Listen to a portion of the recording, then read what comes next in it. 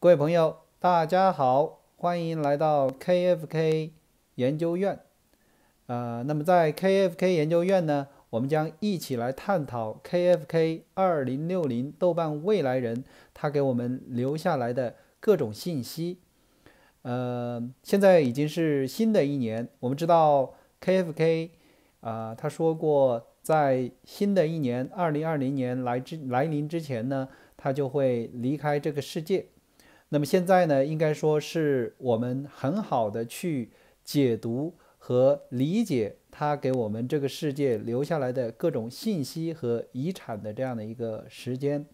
呃，希望在这里呢，我能够跟各位朋友一起来探讨这个 KFK 给我们这个世界留下来的各种信息，他想传达一个什么样的理念？嗯。他的这样的一个神秘的身世，呃，他的整个的思想结构，以及他所认识的这样的一个世界，到底是什么样的？呃，希望通过我们的这样的一些分析和理解，呃，我们能够更好的去看清和掌握我们自己的未来。那么这个也不会辜负这个 KFK 到达我们这个世界的一片苦心。各位朋友，大家好。呃，今天呢，我们继续来探讨这个 KFK 二零六零豆瓣未来人的血统问题，呃，以及另外的一个问题，就是他的爱人到底在哪里？呃，在上一期节目里面呢，我们跟大家分析了这个豆瓣未来人很有可能是一个华裔，呃，他既会这个中文。而且还是繁体中文，而且也会这个英语，而且他的英语实际上潜意识里面在这个影响他的语法。呃，那么进一步的，我们是不是可以进一步分析啊？他除了这个中国人的这个血统以外，他有没有其他的这个血统？以及他的流露出来的信息里面，他的爱人到底在哪里？啊，这个是值得我们。探讨的一些问题。那么，首先我们来看一下第一个问题：KFK 还有没有其他的这个血统啊？呃，那么有一个非常关键的信息，大家不知道有没有注意到啊？就是有一位朋友在问：现在学小语种还有意义吗？这个 KFK 回答说：这个希腊文或者希伯来文比较有意义。那说明他对这个希腊文或者是希伯来文是应该说是。比较有了解的，这是应该说是非常重要的一个信息。然后呢，他在回答其他的一些朋友的问题的时候，他还提到了一个非常重要的一个词，叫 “rama”。rama 呢，应该它是发源于这个希腊文啊，它是发源于希腊文，它是指的是流变、意识、意识流的这样的一个意思。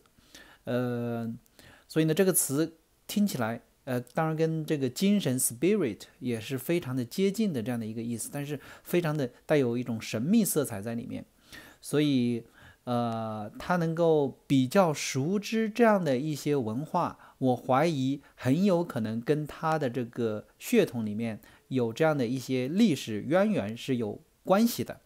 那么通过这样的一些分析啊，我们可以猜测一下。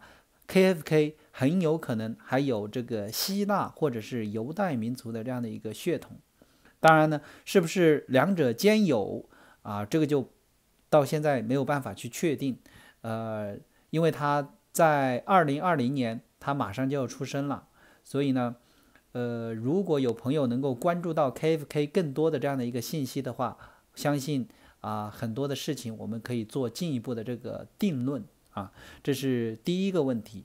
那么第二个问题呢，就是啊，他也提到了，啊，他的太太是二零一九年出生的，也就是在刚刚过去的这个二零一九年出生。那么现在的这个疑问是，KFK 的爱人到底在哪里？他通过豆瓣给世人传递的这样的一些信息，有没有可能他也想影响他的这个爱人以及他的这个爱人的这个家庭呢？也就是说，他可能想传达一些信息，让他自己的这个父母尽快的到达一些安全的地方，呃，同时呢，他的爱人这样的一个家族呢，也能够到达比较安全的地方。我怀疑这有可能是他传递这个信息的一个目的。但是他的爱人到底在哪里？啊，为什么他要传递这样的一些信息？这是值得我们关注的问题。呃，那么通过他回答一些朋友的问题啊，我们呃猜测 KFK 很有可能啊。在这几个地方遇到了他的爱人，是在哪几个地方呢？我们来看一下。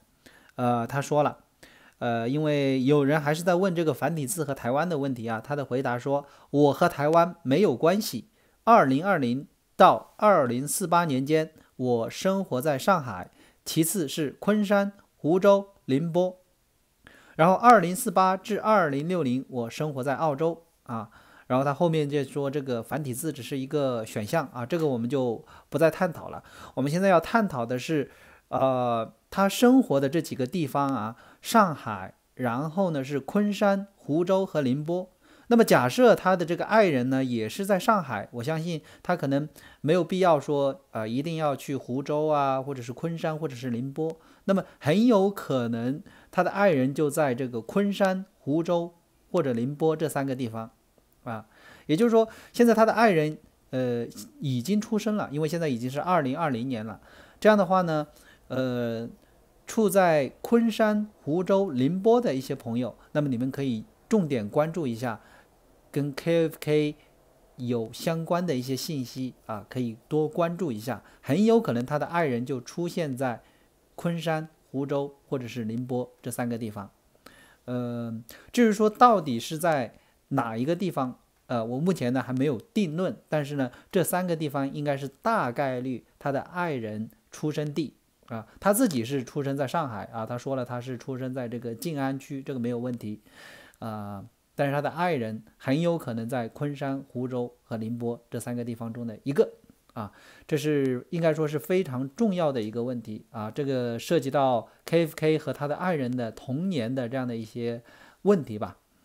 呃，那么呢，这个就是今天我想跟大家谈论的话题啊，就是他的这个血统和他的爱人到底在哪个地方啊？希望这样的一些探讨呢，能够引发大家的一些新的思考和给大家带来一些参考。好，那么谢谢大家的收看。